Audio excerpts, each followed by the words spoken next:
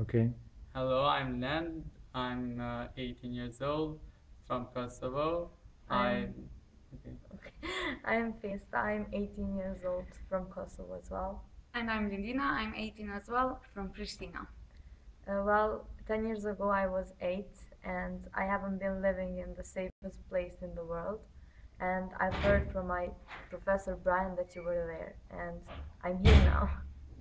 Okay, about your question, uh, we we just want to know and to tell you that you're more than welcome now and whenever you want to come. And also thank you for helping us. And maybe we have we have, we have even met there, but we don't know.